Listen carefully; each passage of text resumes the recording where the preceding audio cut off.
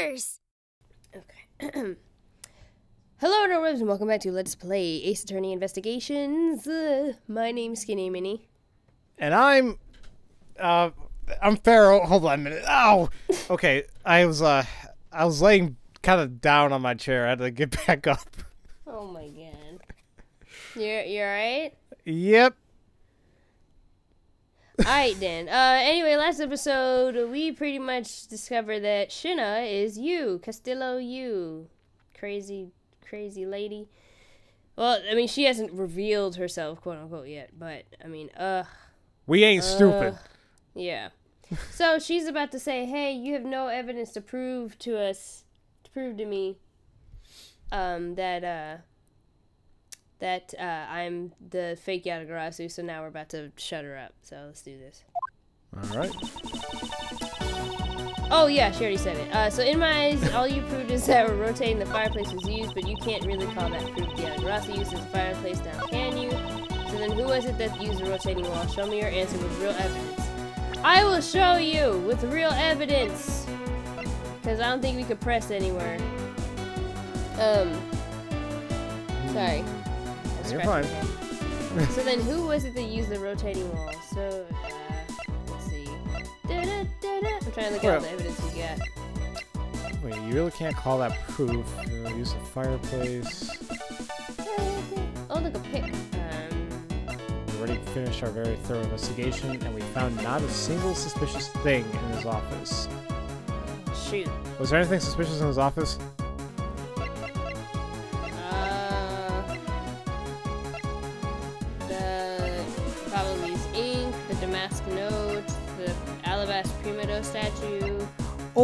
I found it.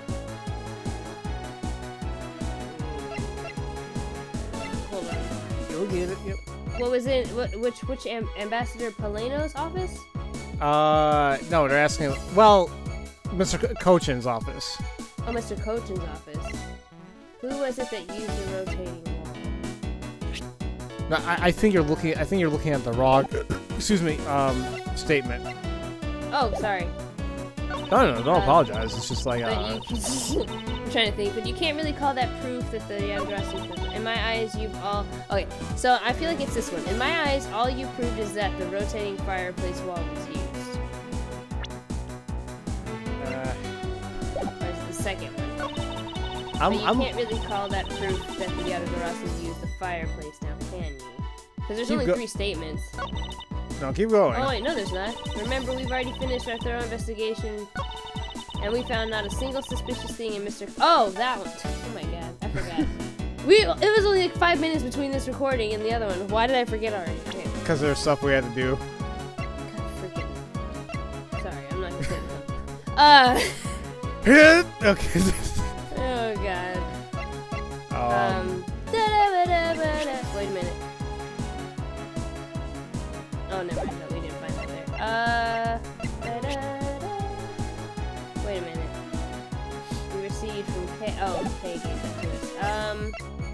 Okay. I'm trying to think. What did we find that was suspicious in Mr. Coachen's office? Oh wait. It was the wire, wasn't it? well, we found it. I don't know if it's. I mean, kind of suspicious, but was there anything better than that?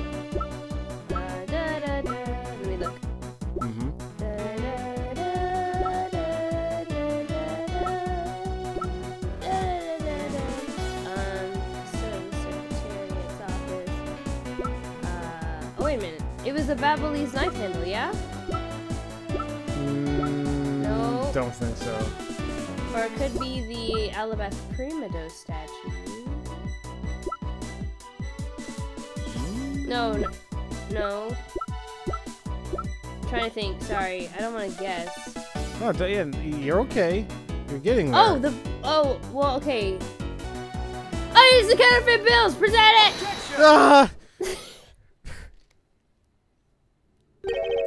Really hungry, so I'm like trying to go through this. Right, well, we'll try our best. You didn't find anything suspicious at all. I highly doubt that. But I didn't. You can even ask the other men. Hmm. I don't need to, for I found what you should have what you should have a while ago. Wait, is she part of the smuggling ring? Excuse me?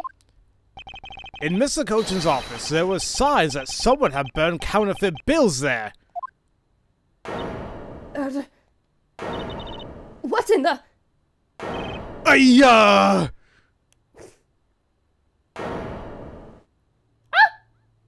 Bum bum! That evidence was something you found out through that girl's machine, right?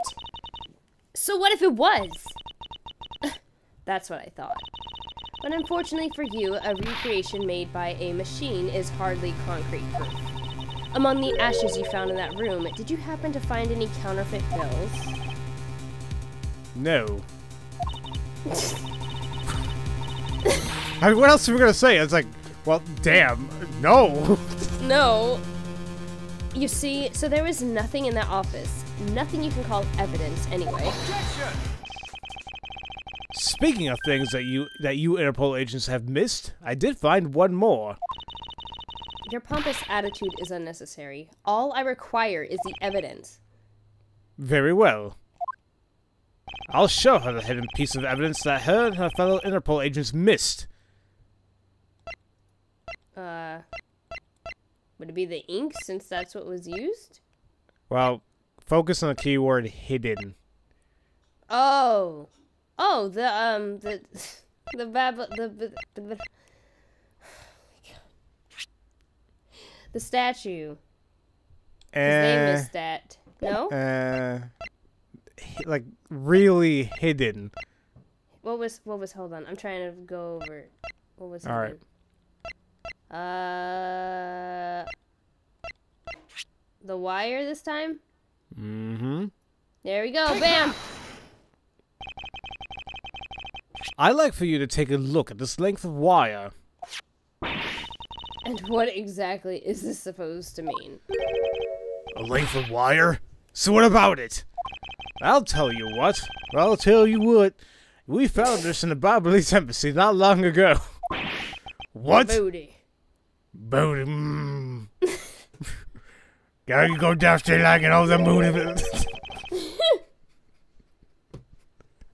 Oh my god. Uh, so, and we found it. We found it wound up inside the grandfather clock in Mr. Coachen's office. You found that at the scene of Mr. Coachen's murder?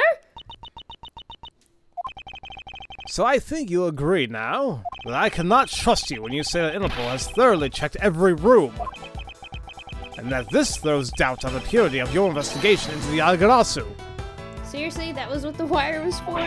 I guess. You still suspect me, I see. Alright then. I ask you to point out what part of my investigation is incomplete. The other Interpol agents worked under the command of Agent Shih-na. It is not possible the reason the person K was chasing chose the third floor was because that person knew there would be no other agents on that floor. Furthermore, we've come to see that Agent Shih-na was only pretending to be investigating the Agarasu to the point of arresting K. In that case, there's one location that no one has yet to inspect. Your team's investigation was incomplete because they failed to inspect this location. The elevator. I'm just kidding. Uh. they didn't even. They didn't. It's the the room K's in, right? E, what is it? I thought it was the other room. Sorry, the other room. Not Shino. God, there's too many names. Sorry. This this uh, this uh, room. Green! the location, Agent Shih-na, is of course the room you claim to have examined. I believe the room next to Mr. Coachen's office warrants a thorough inspection. Even if you do that, I doubt you'll find anything of use to you there. Hmm. I will be the one to decide that. Detective Gumshoe! Yes, sir. I'm on it. I'll be right back after I check out the room next to the office.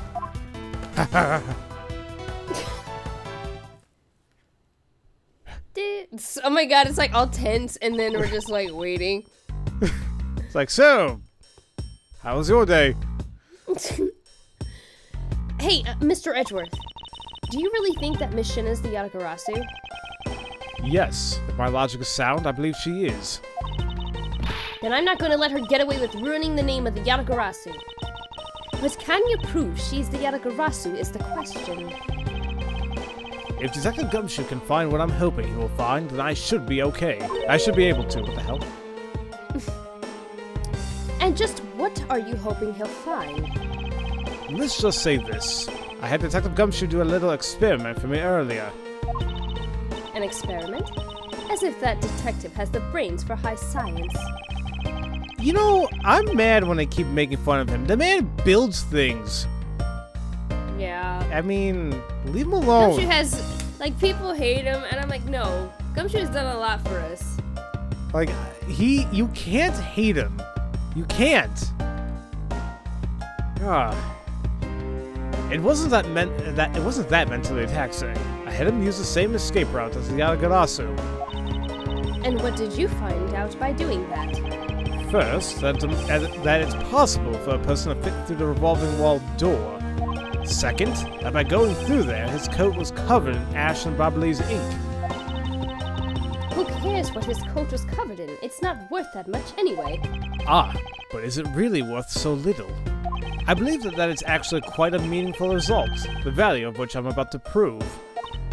Uh, hmm? Mr. Edgeworth! I found some things you really need to see, sir!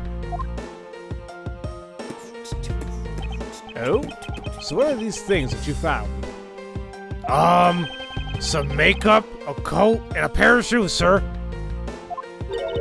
You found a coat? You hear that, Mr. Edgeworth? Maybe it's the one the person who I was chasing was wearing. Yes, the possibility does exist. Agent Shih-na, were these pieces of evidence not in that room where when you examined it? Unfortunately for you, those weren't suspicious items of any sort.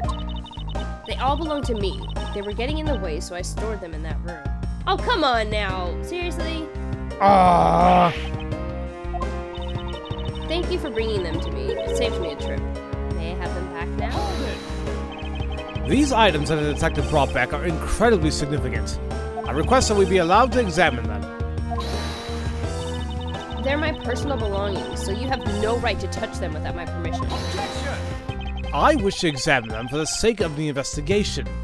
But if you wish to deny us access to them, Agent Lang, let's hear your opinion on this. I say, let them look at let them look at your stuff, Shih-na. Lang! Shih-na, let's put it all out in the open. If you're really innocent, then you have nothing to worry about, right? I guess so. Alright, go ahead and examine whatever you like. After all, I have nothing to hide. Hmm. Good. Let us begin. So which one of Agent Shih-na's belongings are you gonna investigate, sir? I want to examine the coat. Coat. Coat. Let, let's examine the coat. Yes, sir. It appears you- you've managed to stain your coat rather badly. Agent Shih-na. The Algarasu that case saw was wearing a coat. But I'm beginning to wonder if, that's, if this stain was created when you went through the fireplace. Uh, no, you have it wrong. That soot probably got on my coat when I was helping the police put out the fire. And what about this dark substance around the hem of your coat? Oh, I didn't realize that the ham was that dirty. I'm sure it's just some water mixed with soot when I was helping with the fire. I don't think so. You think you can get away with such a transparent lie? Yeah, don't lie to us, pal.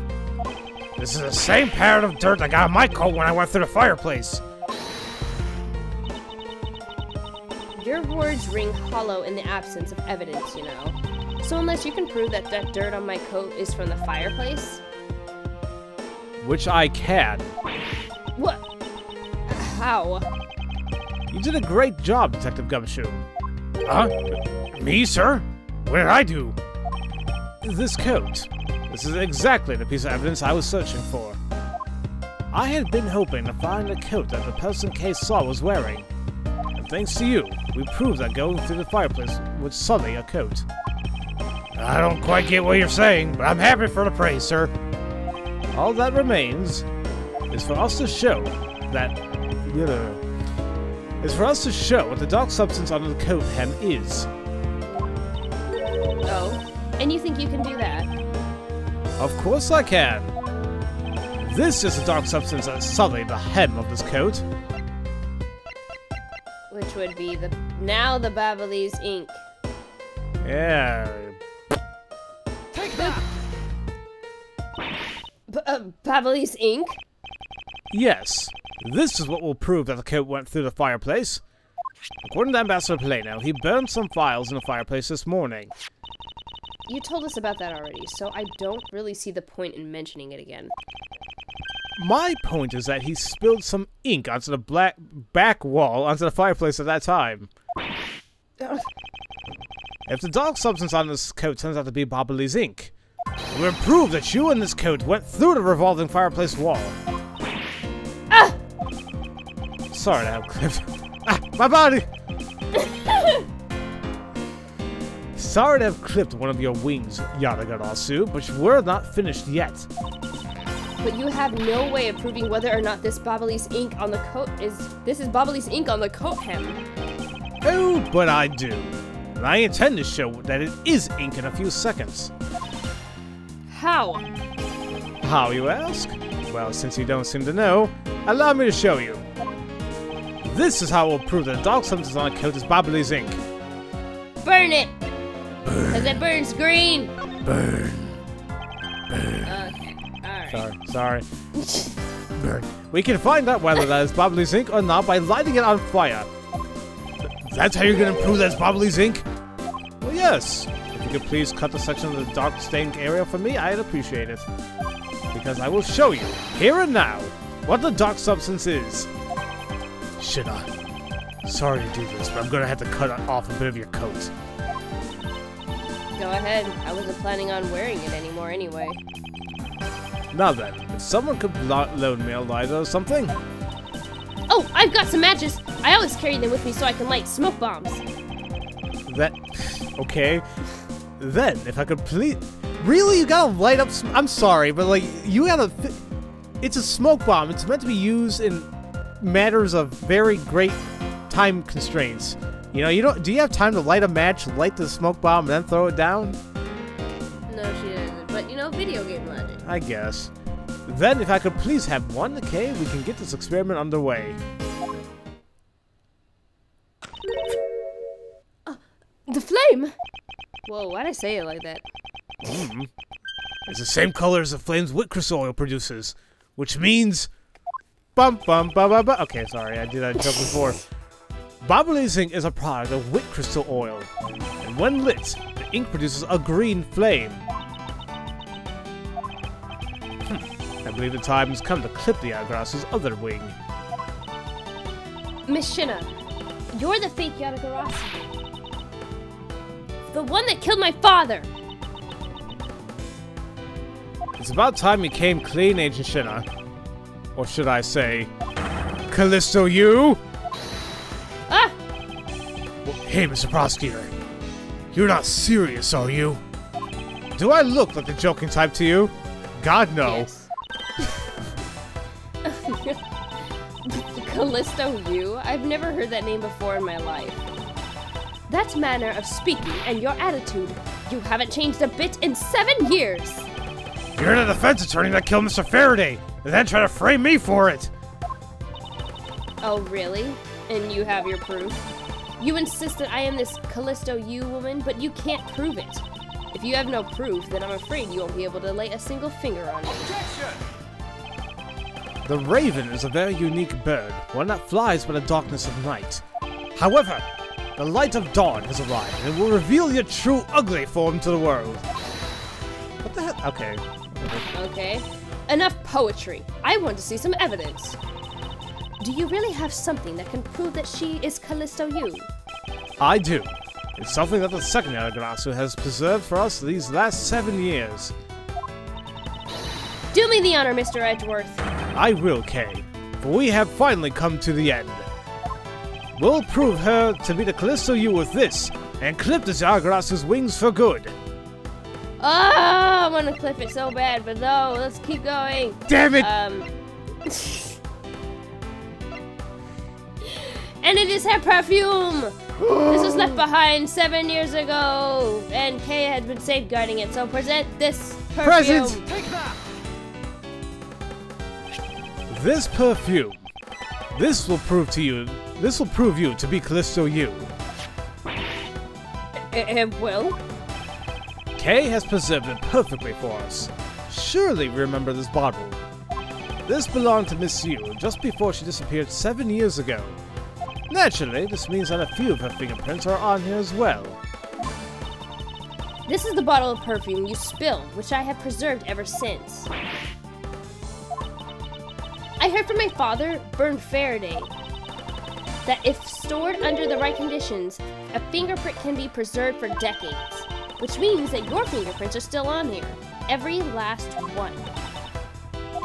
Which can clear everything up if we were to compare the prints of on this to your own. Now come, Agent Shih-na. Will you submit yourself to a fingerprint test? huh? oh my god! I, I cracked myself a third time. That's what you see before you die. Oh my god. I'm not gonna do all that laughing. Jeez, it keeps going on, huh? Laughter. Yeah. Evil laughter. It looks like you've seen right through me yet again. You're sending the biggest chill down my spine, Edgeworth. Calisto Yew! So you've shown your true face at last. This feeling of thrill, it's even greater than that time seven years ago. Shih-na! You're... Lang, I've really enjoyed our days together. You're an insanely strong, nice, kind-hearted idiot of a man. So, you were a spy all along. Mole sent by the smuggling ring I've been chasing after. Someone who has been feeding them intel on Interpol all this time? Very good. Maybe you're not as big of an idiot as I thought. Calisto Yew! The woman who killed my father seven years ago. You're her, aren't you? The fake Yatagarasu. That's right. Calisto Yew. That's just one of my many names. But even that is just a facade.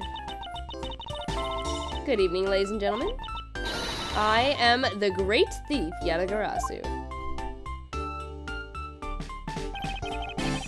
Calisto Yew, this time you won't escape for this is the end of the road for you. Now come along quietly. You know, you're not the one who left the strongest impression on me, Kay Faraday. And had you not used the Yatagarasu's gadgets, I might have never known who you were. Here you are, being a thorn in my side. Just like your father always was. Kate, don't! She's punching the air. You, I'll never forgive you for what you did to my father! you really are just like him. Mr. Faraday, too, possessed such laughable honesty. Ah! Ah, well, damn it all. Kay! Oh, you let go, Kay, right now, pal! You despicable! Let go of me, you filthy... Ah! You think I'm a fake, don't you? Well, unfortunately for you, I'm the real Yatagarasu. But that's impossible! My father was the one who created Little Thief! hey, Edgeworth. The Yatagarasu has three legs. Do you know why that is? Why is it... Why... Why... What? Why it has three legs? Yeah. Oh, sorry. Like I like I thought there was a word missing. Oh. Why it has three legs? There are three main reasons why the Yagras will always be one step ahead. First, the Yagras also always knows the exact location of the target object. Second, the Yagras always knows exactly how to disarm the scary system. Did you get it?